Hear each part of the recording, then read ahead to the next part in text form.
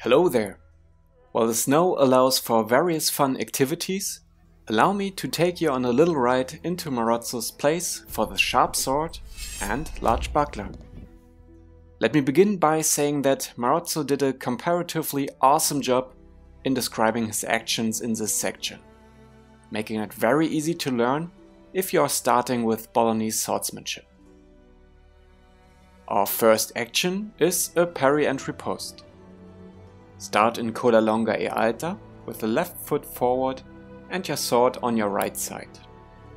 Our opponent throws a stoccata, a thrust from below, which we parry with the false edge from beneath while stepping to our right with the right foot. This parry directs the thrust towards our left side.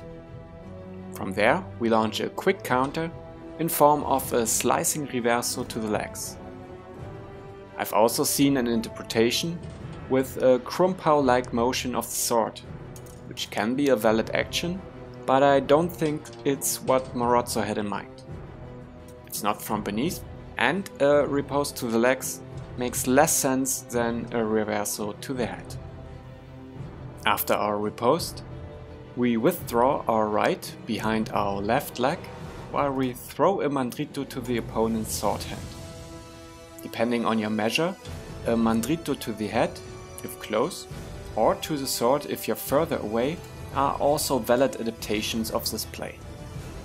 Finally, step back with your left foot, make a mezzo volta, so a half turn with your body and hand to assume coda longa e stretta for the next chapter.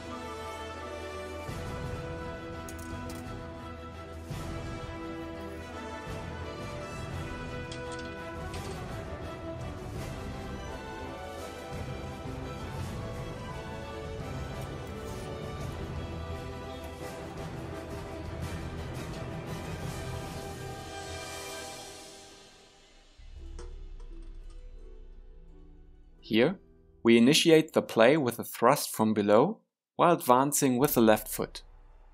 As our opponent parries, we continue with a mandrito to the legs, ending in porta di ferro larga.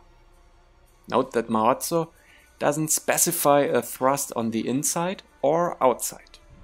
Thrusting to the upper left to open up the lower right might be a good guess, and the exercise I show here but as always feel free to play around and adapt. From Porta di Ferro Larga, we defend any blow with a rising falso, stepping with our left foot to the left side. I show a falso manco here, but you could just do the falso parry from chapter 85 again as well. We counter with a mandrito to the legs once again, while placing our buckler into their sword hand and letting our right foot follow behind the left, that is to your left side. Don't let your blade stop and return with a defensive reverso while stepping back with both feet. You end in coda longa e alta, where you can start the whole drill over again or proceed to chapter 87. I think these plays contrast the sword and buckler play of 133 pretty well. While we have a few common themes and motions like shield strikes, Marozzo really focuses a lot on striking the legs in these plays. Note that he doesn't go directly for the legs, as a priest of 133 would dismiss such attacks as too risky. Rather, he's setting his opponent up, drawing him out of position.